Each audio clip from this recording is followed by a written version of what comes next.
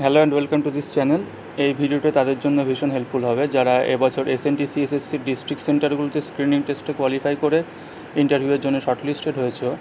অথবা পরবর্তীতে যারা মেন ব্রাঞ্চ অথবা এটিআই ব্রাঞ্চে অ্যাডমিশন নেবে।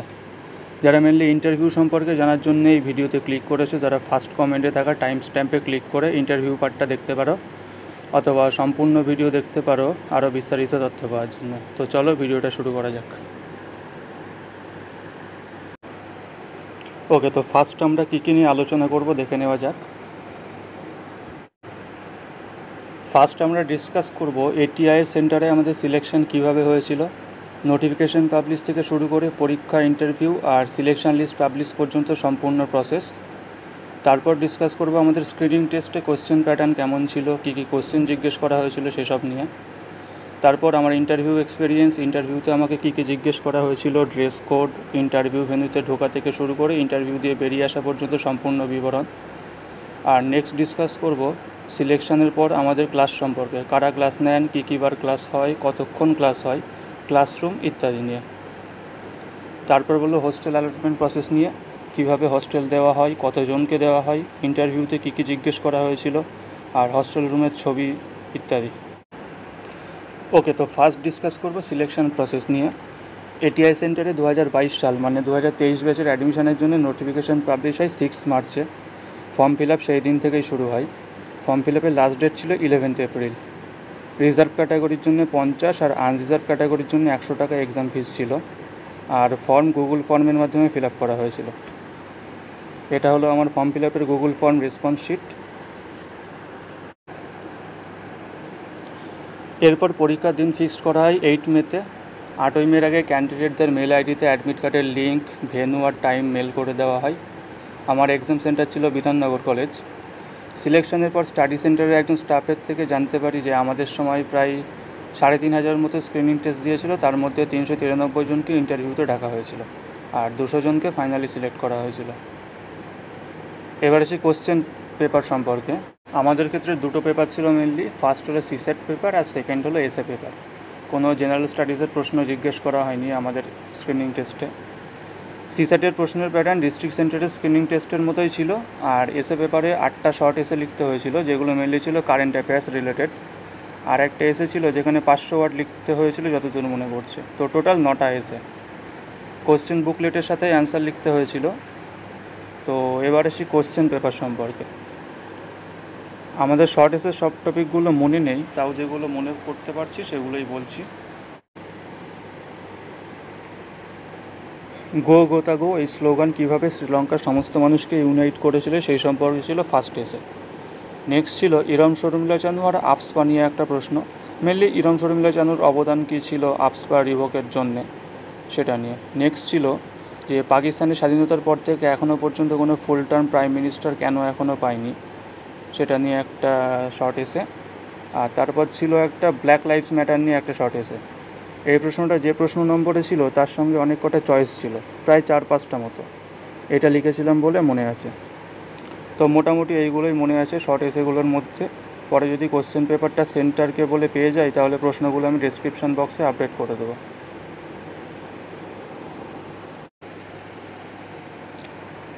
এবার আসে ইন্টারভিউ প্রসেস নিয়ে। আশা করি যারা ডিস্ট্রিক্ট সেন্টারগুলোতে এবার ইন্টারভিউ দেবে, তাদের জন্য এই পার্টটা খুবই হেল্পফুল হবে। তো স্ক্রিনিং টেস্টের পর আটই জুন তিনশো তিরানব্বই জনকে ইন্টারভিউয়ের জন্য শর্ট লিস্টেড করা একটা লিস্ট পাবলিশ করা হয়। এগারো, তেরো এবং চোদ্দ তারিখ ইন্টারভিউয়ের জন্য ডেট ফিক্সড করা হয়। প্রত্যেক দিন দুটো শিফটে ক্যান্ডিডেটদেরকে ডাকা হয়েছিল। মোট প্যানেল ছিল চারটে মানে চারটে আলাদা রুমে চারজন ইন্টারভিউ নিয়েছিলেন। আর হ্যাঁ আমাদের ইন্টারভিউ লিস্টের প্যানেলটাতে অ্যালফাবেটিক্যালি নাম ইমপ্যানেল করা হয়েছিল। স্ক্রিনিং টেস্টের কোনো নাম্বার তাতে দেওয়া ছিল না। যেহেতু আমার নাম এ দিয়ে, তাই আমার এগারো তারিখ ফার্স্ট শিফটে ইন্টারভিউ ডেট অ্যালট করা হয়। এই হলো আমার লিস্টের সিরিয়াল নাম্বার আর আমার নাম ফার্স্টে থার্টি নাইন আনিসুর মিস্ত্রি।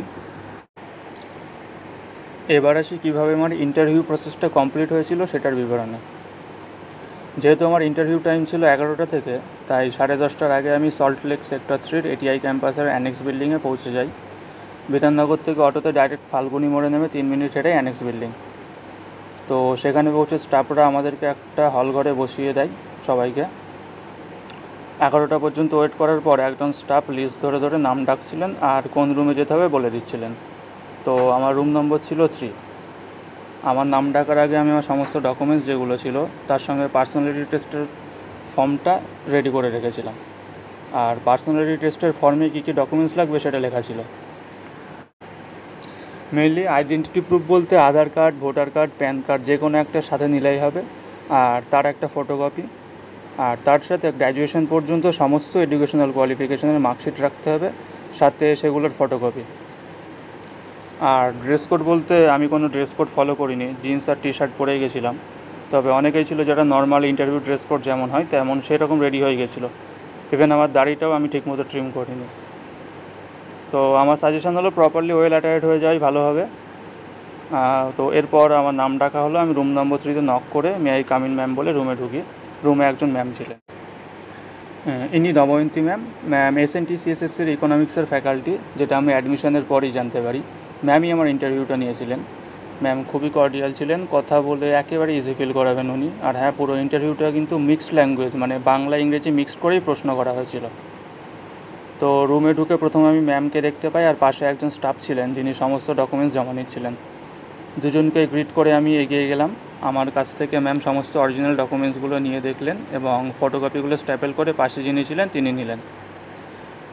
এরপর ম্যাম আমাকে বসতে বললেন, আর অরিজিনাল ডকুমেন্টস দেখতে দেখতে জিজ্ঞেস করলেন হোয়াট ইজ ইউর নেম আমি বললাম ma'am Anisur Mistry so Anisur where are you from আমি বললাম ma'am I am from Kalyani তারপর বললেন যে সেমি অ্যাবাউট ইউর সেলফ এরপর আমি আমার নাম ঠিকানার এডুকেশনাল কোয়ালিফিকেশান বললাম। So you have done your graduation in math in two thousand twenty one right আমি বললাম ইয়েস ম্যাম এরপর আমাকে জিজ্ঞেস করলেন স্ক্রিনিং টেস্টে কোন কোন এসেছিল মনে আছে? পরপর টপিকগুলো আর তাদের সম্পর্কে শর্টে কিছু বললাম। এরপর ম্যাম বললেন you will appear two thousand twenty three CSC right আমি বললাম ইয়েস ম্যাম তারপর ম্যাম আমাকে জিজ্ঞেস করলেন why do you want to be a civil servant তো প্রত্যেকেরই একটা নিজস্ব কারণ থাকে সিভিল সার্ভেন্ট হওয়ার। তো আমি আমার কারণটা বললাম। এরপর জিজ্ঞেস করলেন, তুমি কোন ল্যাঙ্গুয়েজে সিএসসি দিতে চাও? আমি বললাম আমি ইংলিশ ম্যাম বললেন, বাংলাতেও দেওয়া যায়, জানো তো?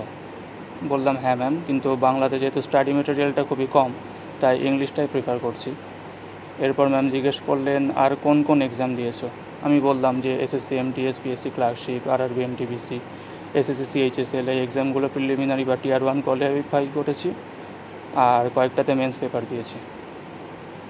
তারপর বললেন যে, সামনেই তো ডাব্লিউবিসিএস প্রিলিমিনারি এক্সাম আছে ফর্ম ফিল আপ করেছ? আমি বললাম হ্যাঁ ম্যাম এরপর আমাকে ইউপিএসসির এক্সাম প্যাটার্ন নিয়ে জিজ্ঞেস করলেন, কী কী পেপার কত মার্কস ইত্যাদি ইত্যাদি? তারপর বললেন আচ্ছা আনিসুর তুমি নিউজ পেপার পড়ো? বললাম হ্যাঁ ম্যাম পড়ি। কোন নিউজ পেপার পড়ো? বললাম ম্যাম হিন্দু পড়ি, কিন্তু ডেলি পড়া হয় না, তবে ইউটিউবে ডেলি অ্যানালিসিস দেখি। ম্যাম বললেন অ্যানালিসিস দেখলে হবে না ডেলি পড়তে হবে। তারপর বললেন যে রিসেন্ট নিউজে কী কী আছে বলতে পারবে? তো সেদিনের হিন্দুর অ্যানালিসিস পড়ে আর হিন্দুর পেজগুলো পড়ে গেছিলাম। আর ইন্টারন্যাশনাল কিছু নিউজ আর ন্যাশনাল কিছু নিউজ ম্যামকে বললাম।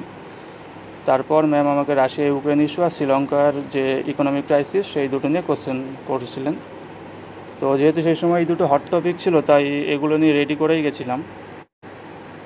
এরপর ম্যাডাম স্টেটে কী কী নিউজ চলছে সেটা জানতে চাইলেন। আমি আনসার করি ম্যাম তেমন ইম্পর্টেন্ট নিউজ তো মনে আসছে না। তো এরপরেই তিনি জিজ্ঞেস করেন, আমি যদি সিলেক্ট হই, তাহলে আমি হোস্টেল ফেসিলিটি নেব কি না কোন ল্যাঙ্গুয়েজে পরীক্ষা দেব? আমার অপশনাল কি? আমি অপশনালের গাইডেন্স নেব কি না এই ডিটেলসগুলো উনি একটা পেপারে নোট করেছিলেন। তারপর ইন্টারভিউ শেষ করে ম্যাডাম বললেন, ওকে আনিসুর, কুড়ি তারিখের মধ্যে রেজাল্ট জানিয়ে দেওয়া হবে। এরপর আমি রুম থেকে বেরিয়ে আসি এবং স্টাফরা বলেন, যাদের ইন্টারভিউ হয়ে গেছে, তারা বাড়ি চলে যেতে পারেন। আচ্ছা এর সাথে আরেকটু জানিয়ে রাখি যে এটিআইএ হস্টেল ফেসিলিটির জন্য এবার ইন্টারভিউ নেওয়া হয়েছিল। আর হস্টেলের ইন্টারভিউতেও ম্যাডাম আমার ইন্টারভিউ নেন। সেখানে ম্যাম আমাকে আমার ফ্যামিলি ব্যাকগ্রাউন্ড আর সাথে রুপি ডেপ্রিসিয়েশন তার কারণ, আর তার সঙ্গে ইন্ডিয়াতে ইনফ্লেশন তার কারণ, আর রিজার্ভ ব্যাঙ্ক কীভাবে তা কন্ট্রোল করে তার ইনস্ট্রুমেন্ট সাথে কারেন্ট রেটগুলো জিজ্ঞেস করেছিলেন। ওকে এবার ডিসকাস করা যাক, যাদের সামনে ইন্টারভিউ আছে তারা কীভাবে প্রিপারেশান নেবে। তাদের একটা কথাই বলব ইন্টারভিউয়ের সময় কনফিডেন্ট থাকতে হবে, আর তার সাথে কারেন্ট নিউজগুলো ভালো করে ফলো করতে হবে।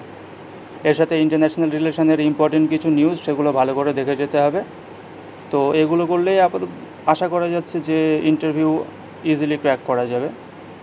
আর ইন্টারভিউয়ের জন্য all the best interview related আর কোনো যদি কারোর ডাউট থাকে, তাহলে কমেন্টে জানিয়ে অবশ্যই রিপ্লাই করো। ইন্টারভিউয়ের পর আমাদের ফাইনাল সিলেকশন লিস্ট পাবলিশ করা হয় সাতাশে জুনে, যাতে থার্ড জুলাইয়ের মধ্যে সিলেক্টেড ক্যান্ডিডেটদেরকে এটিআই থেকে অ্যাডমিশন নিতে বলা হয়েছিল।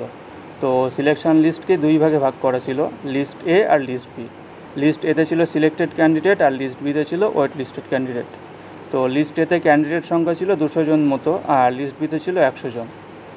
অবশ্য পরবর্তীতে ওয়েট লিস্ট থেকে পঞ্চাশ জনকে এই সিলেক্টেড লিস্টে ভর্তি করে নেওয়া হয়েছিল। এটা হলো ফাইনাল সিলেকশন লিস্ট আর এটা হলো মেল কনফার্মেশন এরপরে ইনগরেশন সেরিমনির জন্য ইনভিটেশন মেল আসে। চ্যানেলে সেই ইনগরেশন সেরিমনির ভিডিও আপলোড করা আছে। ইনগরেশনের ডিটেলস সেই ভিডিও ডেসক্রিপশানে দেওয়া আছে। এরপর মোট সিলেক্টেড ক্যান্ডিডেটকে দুই ভাগে ভাগ করে সেকশন এ আর সেকশন বি অ্যালট করা হয়।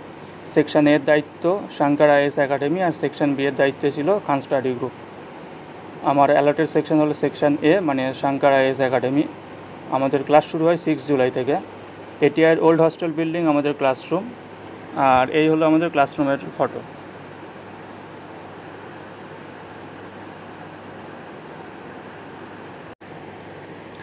এরপর হস্টেল অ্যালটমেন্টের জন্য আমাদেরকে মেলে একটা গুগল ফর্ম পাঠানো হয়, যাতে name address family income distance from home to ATI why I need hostel এগুলো জিজ্ঞেস করা হয়। সেই ফর্মের রেসপন্সে তেইশে জুলাই মেল আসে, যাতে পঁচিশে জুলাই আমাদের ইন্টারভিউ শিডিউল করা হয়। আর দময়ন্তী ম্যামে ইন্টারভিউ নিয়েছিলেন আমার। তো যতদূর জানি যে হস্টেল এবার পঞ্চাশ জনের মতো ক্যান্ডিডেটকে হস্টেল অ্যালট করা হয়েছিল, সংখ্যাটা বেশি হতে পারে। তো ইন্টারভিউয়ের পর আমারও হস্টেল অ্যালটমেন্টের লিস্টে নাম আসে। সেন্টার থেকে কল করে হস্টেল যাদের অ্যালট করা হয়, তাদেরকে জানিয়ে দেওয়া হয় ও পরের দিন সব কিছু রেডি করে হস্টেলে আসতে বলা হয়। তো এই হলো একটা ওভারঅল ডিটেলস আশা করি ভিডিওটা ভালো লেগেছে। S N T CSSC related আর কোনো কোয়ারি থাকলে কমেন্টে অবশ্যই জানিও। রিপ্লাই করার চেষ্টা করব। আজকের ভিডিও এখানেই শেষ করছি। আর যাদের সামনে ইন্টারভিউ আছে, তাদেরকে all the best and thanks for watching the video